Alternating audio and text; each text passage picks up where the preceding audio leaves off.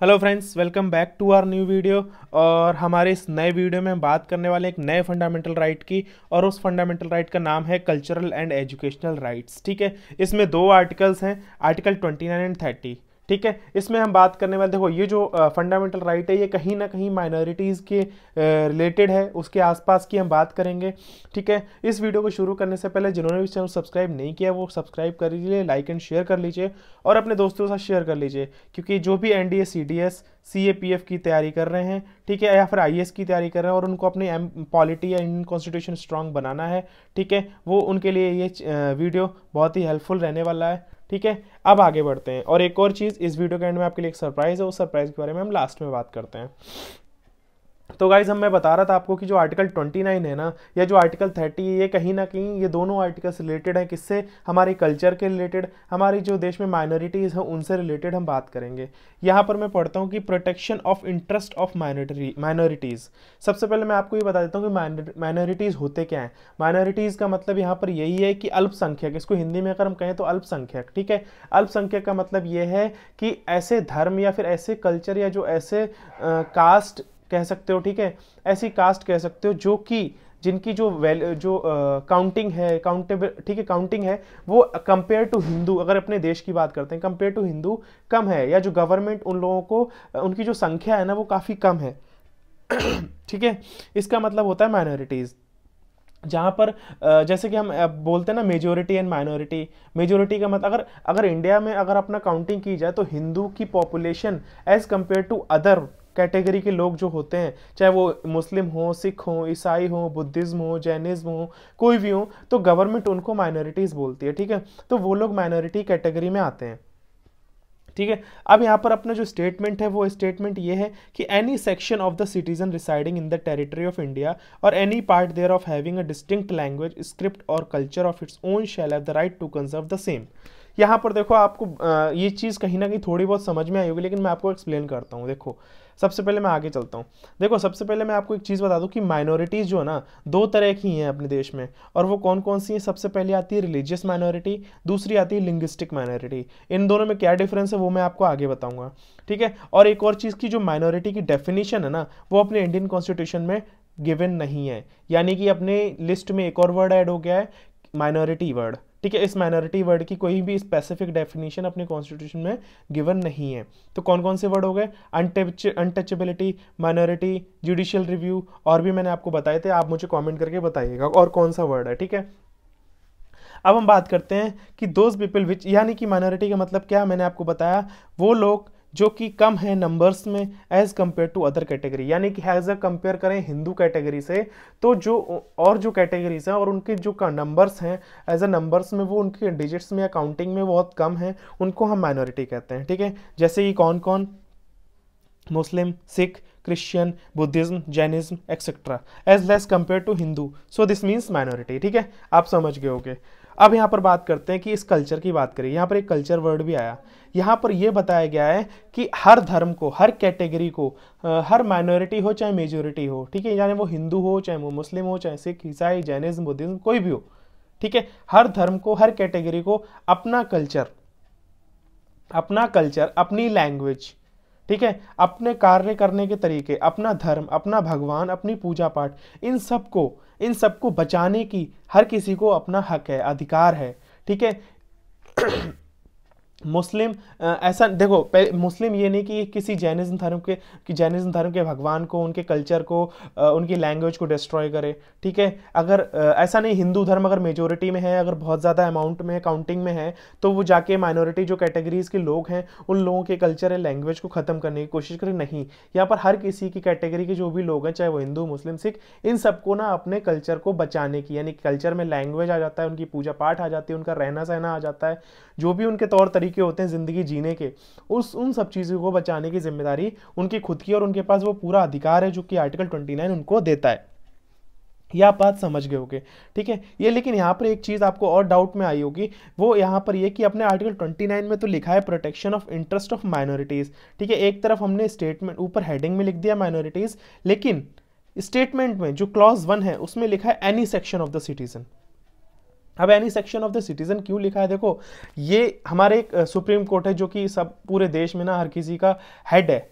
मतलब कहीं ना कहीं अगर वो जो भी फैसला देता है ना, वो सबको मानना ही पड़ता है। तो सुप्रीम कोर्ट ने कहा है कि जो आर्टिकल 29 है, वो सिर्फ़, वो सभी के लिए ऐसा नहीं है कि सिर्फ़ माइनॉरिटीज़ के लिए ठीक है? अब अगर मैंने ऊपर आर्टिकल 29 में ये माइनर अगर अपने कॉन्स्टिट्यूशन में protection of interest of minorities लिख दिया है तो वो लिख दिया है। अब ऐसा नहीं कि उसको ख़त्म करने के लिए, उस वर्ड को हटाने के लिए हम अमेंडमेंट करें चेंजेस करें, नहीं। वो बस ऐसा नाम के लिए लिखा हुआ है, लेकिन आर्टिकल ट्वेंटी जो जो क्लॉज वन है, वो सभी कैटेगरी लोगों के लिए यानी कि सारे सिटीजन्स के लिए देश के, हर एक नागरिक के लिए है। ठीक है? वो अपने देश में, यानी कि भारत के अंदर के जो भी इलाका है, उसमें जो भी सिटीजन रह रहा है, ठीक है? जो भी नागरिक अपने देश का है, देश का जो भी सिटीजन है, और जो वो किसी भी कैटेगरी का हो, कोई मतलब नहीं है, कोई मैटर नहीं करता, ठीक है? उसको अपना कल्चर बचाने का, अपनी लैंग्वेज बचाने का, अपनी स्क्रिप्ट बचाने का, उसको अपने पास पूरा राइट है, उसको बचाने का, ठीक है? तो ये बताया गया है। एक और चीज़ बताई गई है, वो क्या कि हमें क्या मतलब मैंने आपको ये तो बता दिया कि we have right to save a culture means language script anything then state don't have right to snatch और स्टेट मतलब गवर्नमेंट का कोई भी हक नहीं है कि वो आपसे आपकी ये कानून छीने, यानी कि आपकी कल्चर को डिस्ट्रॉय करने की कोशिश करे, आपकी लैंग्वेज को छीने, आपके कैटेगरी को ख़त्म करने की कोशिश करे। सॉरी ठीक है? तो गवर्नमेंट के पास ये राइट नहीं है।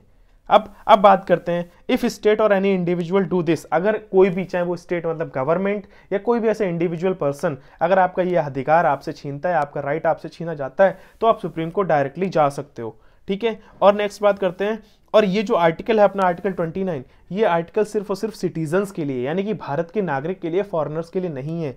फॉरनर्स के लिए नहीं है। इसका मतलब अब ये होता है कि अगर मान लो आप रह रहे हो, आप एक गाँव में रह रहे हो, आप गाय, भैंस पाल रहे हो, ठीक है, आप उसका दूध निकाल रहे हो, उसके गोबर से चीज़ें बना रहे हो, ठीक है, जो कि गाँव वगैरह में आपने देखा हो, होती होंगी, ठीक है। अब ऐसा नहीं कोई फॉरनर आके अगर इंडिया में रहता है और इंडिया में आके वो आपसे कहे कि तुम ऐसा कैसे कर रहे हो, या फिर फॉरनर्स में मीट मांस खाया जाता है तो वो जानवरों को मारे। लेकिन इंडिया में ऐसा नहीं है कि जीवों को मार के खाते हैं ठीक है? तो अगर अगर आपका कल्चर है कि आपका जो धर्म है, आपकी जो कैटेगरी है, वो ये कहती है कि हम किसी भी जीव को नहीं, जीव की हत्या नहीं करेंगे और हम अच्छा भोजन खाएँगे और ऐसे ऐसे रहेंगे, आपका एक कल्चर है। और अगर वो फॉरनर आपसे ये कहता है कि तुम ऐसे कैसे कर रहे हो हमारे यहाँ जो खाना है, वो भोजन है, वो जीव को जीव की हत्या करके हम उसको खाते हैं तो ऐसा नहीं है। तो तुम उसको धक्के मार के निकाल सकते हो, वहाँ से हटा सकते हो, भगा सकते हो, उसको मार सकते हो, पिटाई कर सकते हो उसकी कि मेरा कल्चर है, इस कल्चर में तुम कोई दखलंदाजी नहीं दे सकते हो, या तुम्हारा कोई राइट यहाँ पर तुम्हारा कोई भी राइट नहीं है। ठीक है? आप समझ गए मैं आपको क्या समझाना चाह रहा हूँ कि फॉरनर्स का इस, इस आर्टिकल में कोई भी रोल नहीं है ये आपका अधिकार है आपके लिए ये आर्टिकल बनाया गया है ठीक है? और दूसरी चीज़ मैंने आपको बताई कि ये जो आर्टिकल 29 है ये सभी सिटीजन्स के लिए है सिर्फ़ माइनॉरिटीज़ के लिए नहीं है। अब मैंने आपको बताया कि लिंग्विस्टिक माइनॉरिटी और रिलीजियस माइनॉरिटी में क्या डिफरेंस है। लिंग्विस्टिक माइनॉरिटी देख, जैसे मैं आपको एग्जांपल दूँ कि मुंबई, यानी कि महाराष्ट्र की तरफ़ अगर जब आप जाते हो तो वहाँ पे मराठी लोग रहते हैं, ठीक है? वहाँ पे वो लोग मराठी लैंग्वेज यूज़ करते हैं। तो अगर आप देखते हो कि मराठी लैंग्वेज की ज़्यादा अमाउंट में जो पॉपुलेशन है, जो काउंटिंग है, वो आपको महाराष्ट्र में ज़्यादा देखने को मिलेगी as compare to India India में आपको मिलेगी, लेकिन मेजर मेजर मेजर जो मेजोरिटी है मराठी लैंग्वेज बोलने की, वो महाराष्ट्र में ज़्यादा है। ठीक है महाराष्ट्र में ज़्यादा है तो उसी एरिया में है ना ऑल ओवर इंडिया तो अगर वहाँ की मेजोरिटी को देखा जाए तो उस मतलब अगर कंपेयर किया जाए इंडिया की पॉपुलेशन से तो उस जगह की पॉपुलेशन को, उस जगह की मराठी बोलने वाली कैटेगरी को हम लिंग्विस्टिक माइनॉरिटी कह सकते हैं।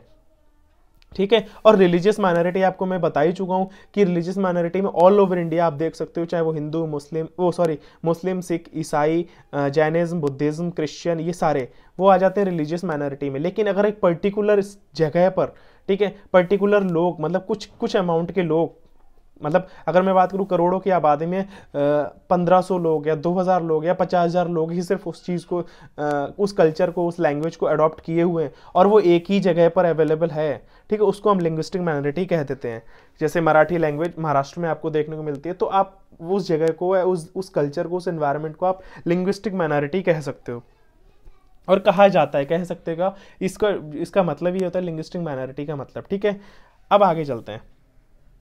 दूसरा क्लॉज अपना क्या कहता है? दूसरा क्लॉज कहता है no citizen shall be denied admission into any educational institution maintain by the state और receiving aid out of state funds on ground only of religion race caste language और एनी ऑफ़ दैम यानी कि इस statement की अगर मैं बात करता हूँ कि कोई भी भारत का कोई भी नागरिक, कोई भी नागरिक हो और वो किसी भी एजुकेशनल इंस्टीट्यूट में एजुकेशनल इंस्टीट्यूट। मैं इंस्टीट्यूट की बात नहीं कर रहा। मैंने लास्ट आर्टिकल में बात करी, एक इंस्टीट्यूट की बात करी गई थी, ठीक है इंस्टीट्यूशनल की। वहाँ पर इंस्टीट्यूशनल कोई भी हो सकते हैं, जैसे कि मेडिकल हॉस्पिटल या फिर कुछ भी हो सकता है, लेकिन यहाँ पर एजुकेशनल इंस्टीट्यूशन की बात करी गई, ध्यान रखना। तो एजुकेशनल इंस्टीट्यूट्स में अगर भारत का कोई भी नागरिक अगर वहाँ जाके एडमिशन लेना चाहता है, पढ़ना चाहता है, ठीक है तो कोई भी इंस्टीट्यूट कोई भी इंस्टीट्यूट उसको किस किन किन चीज़ों पर देख कर डिस्क्रिमिनेट नहीं करेगा। वो आ जाता है रिलीजन ठीक है? रेस यानी कि कास्ट लैंग्वेज इन चीज़ों के आधार पर किसी भी बच्चे को मना नहीं करेगा एडमिशन देने से, उसको पढ़ाने से तो ठीक है? लेकिन एक कैटेगरी है सिर्फ़ जिस भी, जिस बेस पर चाहे वो गवर्नमेंट हो, ठीक है? गवर्नमेंट हो, उस चीज़ पर डिस्क्रिमिनेशन कर सकती है। और वो कौन कौन से आ जाते हैं? यहाँ पर देखो स्टेट वर्ड लिखा है मेंटेन बाय द स्टेट ठीक है? तो जो भी देश में सरकारी स्कूल होंगे समझो आप, मैं क्या कहना चाह रहा हूँ? इस भारत देश के किसी भी नागरिक के लिए, अगर वो नागरिक सरकारी स्कूल, अपने भारत देश में जितने भी सरकारी स्कूल हैं, जो भी सरकार के द्वारा वो स्कूल चलाए जा रहे हैं इंस्टीट्यूट चलाए जा रहे हैं, एजुकेशन इंस्टीट्यूट चलाए जा रहे हैं, ठीक है? उनमें अगर वो बच्चा पढ़ना चाहता है, एडमिशन लेना चाहता है, ठीक है? और, ठीक है, वो सारी चीज़ अगर वो करना चाहता है तो सरकार जो है, स्टेट जो है, उस बच्चे के साथ इन विया पर डिस्क्रिमिनेशन नहीं करेगी। वो कौन कौन सी चीज़ें? Religious race caste and language वो डिस्क्रिमिनेशन कर सकती है जेंडर के आधार पर। जेंडर के आधार पर क्यों? कहीं कई कई कई गाँव वगैरह में आपने देखा होगा कि आ, कई ऐसे कॉलेज स्कूल्स होते हैं जो सिर्फ़ गर्ल्स के लिए होते हैं स्पेसिफिक ठीक है? वहाँ पर जेंडर मैंशन नहीं है सेक्स मैंशन नहीं है। तो गवर्नमेंट आपको डिस्क्रिमिनेशन कर सकती है इन क्लॉज टू में। किसके आधार पर? बेस्ड ऑन जेंडर यानी कि कई जो होते हैं, कई गर्ल्स और स्कूल्स एंड कॉलेजेस होते हैं, वहाँ पर अगर आप चाहो एडमिशन मिल जाए, नहीं मिलेगा आपको, ठीक है? तो ये होता है आर्टिकल ट्वेंटी नाइन। अपना एंड ठीक है? अब एक और चीज़ मैं बता देता हूँ कि article 15, 16, 19, 29 and 30 is only for citizens मैंने आपको पहले भी बता चुका हूँ नॉट फॉर फॉरनर्स याद रखना। ये क्वेश्चन आपसे पूछे जा सकते हैं। ऑप्शंस आपको दे दिए जाते हैं कि मान लो आर्टिकल 15 है 16 है 19 है या फिर इनको हटा के कोई एक ऐसा एक ऐसा आर्टिकल डाल दें हम यहाँ पर जैसे कि हम डाल देते हैं 28 आपसे पूछा जा सकता है इनमें से कौन सा आर्टिकल फॉरनर के लिए और तो आप यहाँ पर बोल सकते हो 28 ठीक है? मतलब फॉरनर्स के लिए भी या फिर सिटीजन्स के लिए, आपसे इस तरह से क्वेश्चंस बना के पूछे जा सकते हैं। तो याद रखना, ये जो आर्टिकल्स हैं, ये सिर्फ़ सिर्फ़ सिटीजन्स के लिए या फॉरनर्स के लिए नहीं है। अब आगे चलते हैं आर्टिकल थर्टी की बात करते हैं हम। आर्टिकल थर्टी में बात करेंगे right of minorities to establish and administer education institutions इसको मैं आपको एक्सप्लेन करता हूँ। यहाँ पर ये वाला जो आर्टिकल है ना आर्टिकल थर्टी आर्टिकल थर्टी की बात करते हैं, एक सेकेंड। ओके हम आर्टिकल थर्टी की बात कर रहे हैं, इसमें बताया गया है कि ये वाला जो आर्टिकल थर्टी है ना, ये सभी सिटीजन्स के लिए नहीं है।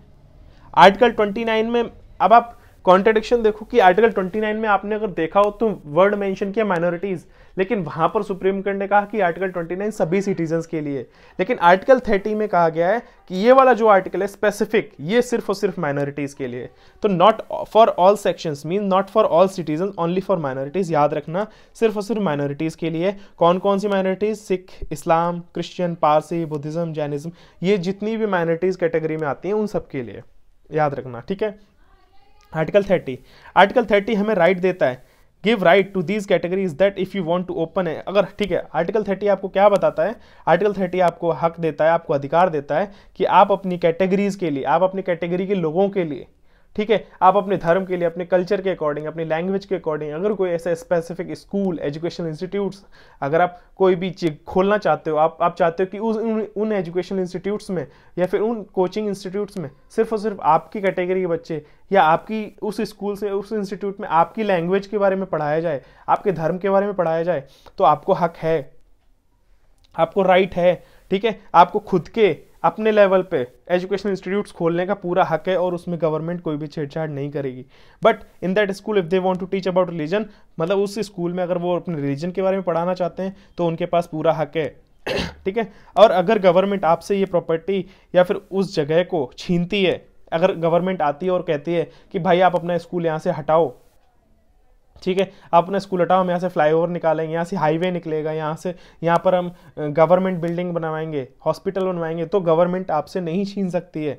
ठीक है? और अगर वो आपसे लेती है, आपसे आपकी जो बनवाए स्कूल की जगह या फिर आपने जो इंस्टीट्यूट बनवाए उनको तोड़वा के और छीनना चाहती है, लेना चाहती है तो उसके लिए गवर्नमेंट आपको कंपनसेशन देगी, आपको पैसा देगी।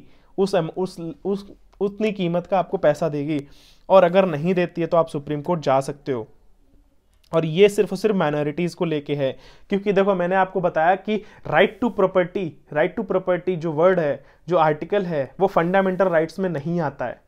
ठीक है? लेकिन वो जो राउट राइट टू प्रॉपर्टी है ना, वो सभी सिटीजन्स के लिए है। यानी कि all over India national level पे, इसमें पर्सनल प्रॉपर्टी की बात करेंगे, इसमें सभी सभी सिटीजन्स के लिए बात करिए। लेकिन जो आर्टिकल थर्टी है, इसमें सिर्फ़ सिर्फ़ माइनॉरिटीज़ के लिए कहा गया है कि माइनॉरिटीज़ अगर अपना एजुकेशन इंस्टीट्यूट या कोई कोचिंग इंस्टीट्यूट या कुछ भी ऐसा खोलते हैं, कोई भी स्कूल खोलते हैं कॉलेज खोलते हैं, और जहाँ पर वो अपने बच्चों को पढ़ा रहे हैं, अपने धर्म का बढ़ावा कर रहे हैं, अपने कल्चर को, अपने वहाँ की चीज़ों को सेव कर रहे हैं, और गवर्नमेंट अगर उस जगह को छीनती है, अगर लेना चाहती है तो गवर्नमेंट आपको उस लेवल पे कंपनसेशन देगी और कंपनसेशन नहीं देती है तो आपके पास पूरा हक है, आप सुप्रीम कोर्ट जा सकते हो।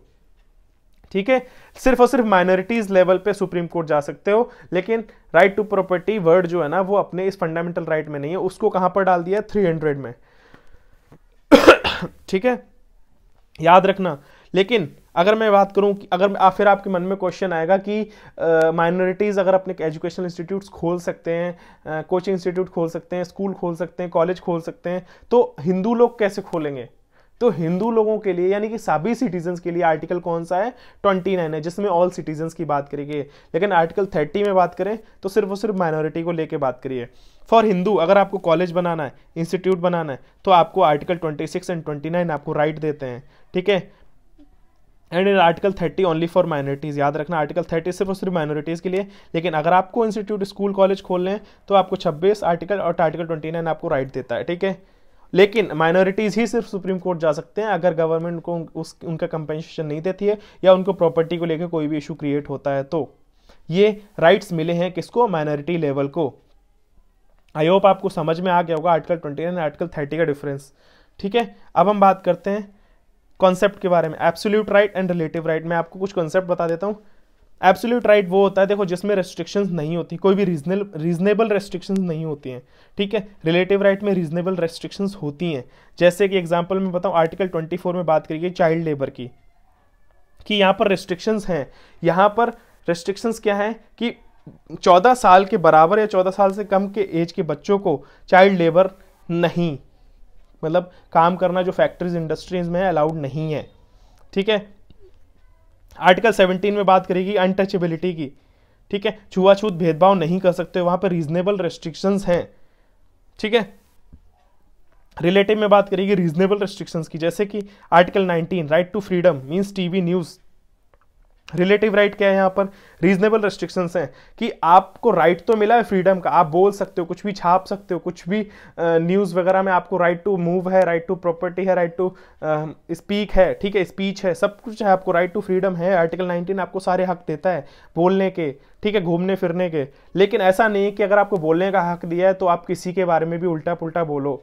ठीक है? आपको कुछ भी बोलने की, ऐसे भी नहीं कि कुछ भी बोलो, आप बोलो कि मैं प्राइम मिनिस्टर को मर्डर कर दूँगा, आप पब्लिक ही बोलते हो, आप बोलते हो, हम सौ लोगों का खून कर देंगे, ऐसा नहीं है, आपको कुछ भी छापने की, कुछ भी बोलने की, कुछ भी बोलने की रेस्ट्रिक्शंस हैं मतलब ऐसा कुछ भी नहीं बोल सकते हो आप। लेकिन आपको फिर भी आपको आज़ादी मतलब वहाँ पर एक रीजनेबल रेस्ट्रिक्शंस हैं तो उसको हम कहते हैं रिलेटिव राइट और जहाँ पर कोई रीजनेबल रेस्ट्रिक्शन नहीं है, वहाँ पर एब्सोल्यूट राइट ठीक है? लेकिन एक क्वेश्चन है आपको इन दी एंड मैं आपको बता दे रहा हूँ, एक आंसर वो आप याद रखना, आपके एग्ज़ाम में काम आएगा। Except article 24 and 17 all other fundamental rights are relative right यानी कि सिर्फ़ 24 और 17 ठीक है?